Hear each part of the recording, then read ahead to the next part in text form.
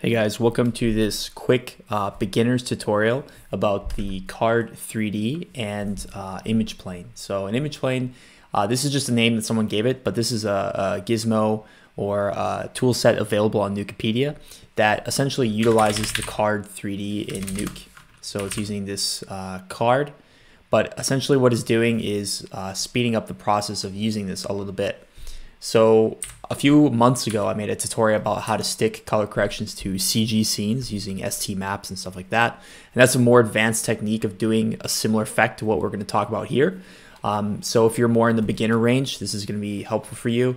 And uh, this is applicable to live action uh, footage or CG scenes. So you can use this technique in either one. But essentially what we have here is uh, a, a shot I filmed in New Zealand, just kind of zooming in, walking here and then I have a color correction that I've kind of stuck to this tree and you can see it kind of tracks along there. And uh, yeah that's basically what it's doing. And it's a very quick way to do things like this. And the reason this is useful is because you can stick color corrections or you can stick elements very quickly and populate a scene without having to you know go into 3d space and try to figure out how to uh, get this placed here.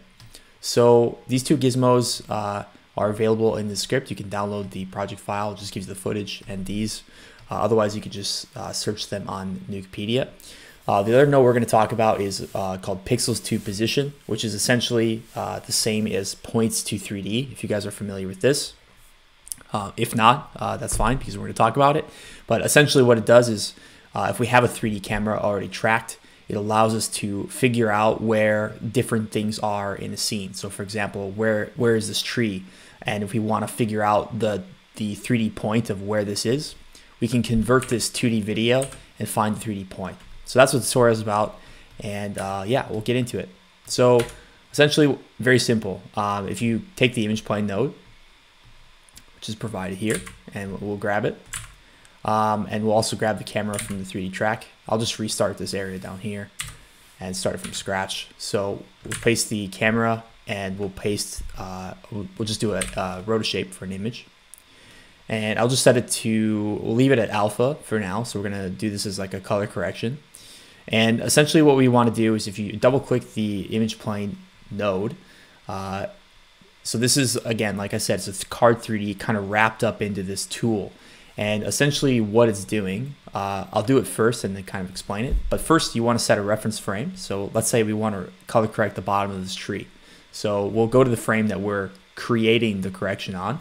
Uh, and it's essentially projecting out from this frame. So uh, frame four. So if I just draw something here with our rotoshape uh, very quickly, draw a really basic shape. So that's drawn on frame four. So that's our reference frame. So I'll make sure to set that in the tool, set that to four. And the distance, we don't know the distance yet, so I'll explain that in just a second. So let's just plug that in, see exactly what that's doing first. So plugging the mask input into the image plane, we can grade up and we see that that's happening. Um, so if we start to play through this footage, uh, we see that actually it starts to kind of stick with the scene, but it seems to not be sticking correctly to the tree uh, entirely. And that's because our, three, our distance is not correct. So essentially what we're doing, if we go into 3D space here, is it's taking this card 3D. So if you just imagine, uh, let's just draw it here. I'll just do a uh, draw tool. So if you imagine that uh, this tool creates a card, but it's to the scale of the camera frustum. So if we take and we look at this, so this basically this triangle that's coming out of the camera is the view of where the camera is seeing. And essentially it's creating a card uh, along these corners uh, this is a bad drawing, but it'll it'll work. So uh, this is basically creating a card along these these lines here, and the distance setting. So if you look in the tool, it says distance is our z distance. So uh, basically, uh, how far away whatever we want to kind of project onto is from the camera. So if our tree is somewhere over here, that would be our distance. So we need to figure out how far is that point from our camera. So again, so that card is going to be projected out in this triangle, always scaling to these points, and we can even have some overscan on there. But uh, basically, it's just doing that. It's scaling out along the triangle until that uh, distance is achieved. So the question you might ask is, okay, well, if you understand that concept, basically we just need to get our rotoshape at the correct distance in 3D space. But how do we find the point in 3D space? Um, so one way, uh, which is not the most efficient way, is to look at the uh, point cloud that's generated automatically um, by your camera tracker. So you can see a bunch of points. And this scene is not a great example of where this would be particularly useful because, um, well, you can't really tell where the tree is. And maybe it's the points right here, but uh, it's not the best representation um, just to, due to the nature of how the scene is shaped. So another way to do this would be using uh, this tool. So we need to figure out what 3D uh, point this bottom of the tree is, uh, where the position is. So essentially we could use this tool, which is Nukes Points to 3D. I'll explain it very briefly, but I'm gonna I'll also explain this tool, which does the exact same thing.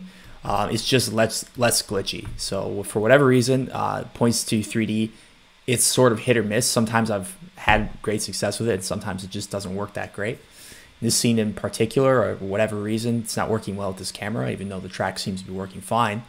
Uh, sometimes this will not work perfectly, but the way it works is very simple. If you click in the points to 3D, uh, you have three points. It says point A, point B, and point C. So essentially what we're doing is triangulation. And if you guys don't know what triangulation is, I have a video. Um, I'll try to link it in the in the thing here. Basically explaining what this concept is but we need to define three points throughout the, the uh, frame range of our video. And it will try to determine, based off of those three positions that we've determined at different times, uh, where a point is. So if I do a fresh points to 3D, I'm not going to run it through because it's not giving me the best result on this particular shot, and I'll show you why. Um, so if we take point A here, so I've just created a new one and we say, okay, so we want to figure out, let's say this little white dot on the bottom of the tree. We set point A to that position at the start of our video and we say set frame. And essentially what we want to do is we want to create these points relatively uh, far from each other in, in terms of time. So you want to not just put all the points at, you know, on, on frame one, two, and three. You want to like go like halfway and then a little bit further so that there's, they've kind of traveled uh, a little bit further. So point B, it's about 30 frames in. So we set that, go here, set the position uh, on the dot there, and we'll just say set frame. And don't forget to say set frame, otherwise it just totally doesn't work at all. Um, and then point C, um, and we'll place it there. And essentially what you normally do is you hit calculate and you'll see Sometimes this gives us results that are good and sometimes it doesn't. And that's why I also wanted to bring in this custom gizmo because in this particular instance, uh, for whatever reason, it's not giving the best result. So we'll just run it through and we can see exactly what it's supposed to do. So essentially what it does is supposed to tell us a 3D point. So this is the, the 3D point that it's determined.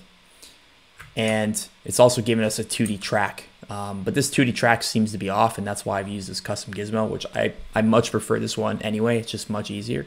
But that's essentially the concept. So now we're going to do the same exact thing uh, with this tool, but it works a little bit differently. So Pixels 2 Position, it's a custom one. This is, again, available right here. You can download it.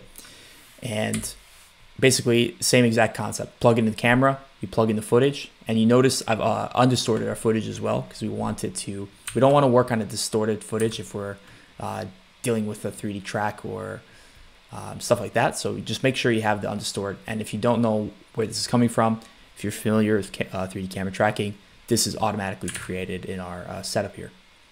Or you can uh, generate this manually uh, using other methods. So pixels to position, this is a custom node, but basically same exact concept. We go to a frame, uh, make sure we have the overlay on. So if I hover over and hit Q, we have overlay on. I'm gonna select the point, but this time there's no uh, point A, point B uh, kind of interface here. You just use your sampling. So if I hold uh, control, you see that little uh, red selector. So I'm just gonna do the same thing and select our point here and say add point. And you see that it's, it's captured that position on frame three. So it's doing the same exact thing we just did. So I'm gonna go forward in time and do the same thing, sample the same point and say add point. And let's just take a look at the node. So immediately you see this node without even having to solve the entire frame range has already determined something and it's much more accurate than our uh, points to 3D. So that's why I prefer this tool in general. It just seems to work uh, more of the time and it's uh, much faster. So even with just two points, it's figured out pretty much perfectly this point in 3D space. So essentially what you do now is you can either export this as a 2D track if you want a 2D track of that area, or you can export an axis, which is a basically a 3D point space, which will give you something like this. But what we're going to use it for is really just a reference for where to place our uh, image plane. So if we go back to our image plane setup and we look at where uh, this thing is falling, uh, if I double click the image plane, we can adjust the distance. Let's make sure we have uh, two properties, two basically more than one property set so we can see them both at the same time. So I want to make sure that we have this node open the property panel as well as this one at the same time. And that will allow us to see both of these in 3D. And so essentially, uh, we just want to make that distance sit on top of that pixel uh, or that point rather. So if you just adjust this, you'll see as I use my arrow keys up and down, uh, it's pretty much just shifting the position and we can just line it up with that point and now we know that this card is sitting right on the tree at least to that relative to uh, the right side of the tree.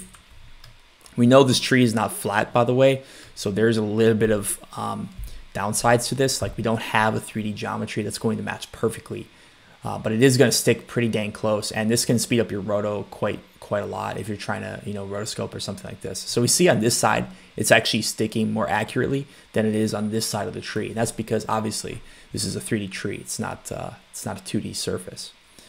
But uh, it still helps you out because you can take the roto shape and, you know, if you're just trying to roto this real quickly, you can just kind of adjust those points over time.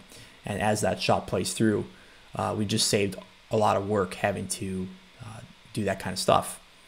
So that's pretty much the concept, and that's a really uh, beginner method. And um, this tool, it, it's pretty much the same as like proprietary tool that like a lot of studios will have.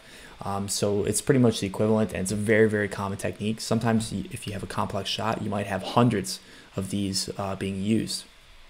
So let's just see. Uh, yeah, that's pretty much it. I think just just remember that card 3D it's not running through a scanline render so it's not it's not the same as a card uh, doing something like this. You could achieve the same result by doing if I just copy it real quick here you could achieve the same exact result that we've done by doing a roto uh, projecting it. So you do a project 3D and frame holding the camera on the frame that we are projecting from. So we'd say a reference frame is frame four. And then we would have to go here, uh, scale up the card. So if you scale the card, and then we place the card into position, you see it's doing the exact same thing. So this whole setup has basically created the whole thing, but we have all these nodes instead of this one, and we're running it through a scanline render, which is actually rendering out, and it's just a bit heavier. Uh, and if you have a lot of these in your script, it's going to take longer. So this is just a time saver. That's pretty much what it is. Um, you can also, of course, not just do for color corrections. You could you could always put uh, some elements or something if you have some smoke in a scene. Um, you know, we could switch this to a merge instead of a grade, and then we could just you know scale this down, uh, and then we could you know mask, essentially mask the noise, and then we could have an element sitting around that basically area, and it, it'll sit around the base of the tree. So that's a very quick way to have that and 3D track it without having to go in and do projections. Um, so that's uh, pretty much it. I'll, I'll chuck the camera up here in the script so you guys can play around with this if you want to practice. And I'll just leave some of the stuff that was here. Let me put back the grade so that you guys have it uh, set up with the color correction because this is uh, more commonly what I use it for, I would say, is just color correcting different areas. Um, one downside, again, is that this card is because it's scaling outward from the camera, um, it's not going to be great if you're scaling a very flat, like wide ground, you know, for example, because this card is, it's basically uh, sort of facing us. So it's that the card is always kind of facing the camera. It's not, it's not, uh, let's say parallel to the ground. It's always kind of facing this direction, uh, which for a lot of, a lot of uh, purposes, it works really well. But if you're flying across the land, for example, that's a point where you probably would want to hop into 3D and use a, a normal card and a normal setup because, you know, for example, if we wanted to color correct this entire ground, we would want a 3D geometry, not this, not this method. So that's pretty much it. If you found this uh, useful, hit the like button, subscribe, and uh, I have more beginner content coming as well as intermediate and advanced. Uh, that's been in the works for quite some time. So uh, I'll have some more announcements on that in the next uh, month or month and a half, uh, I expect.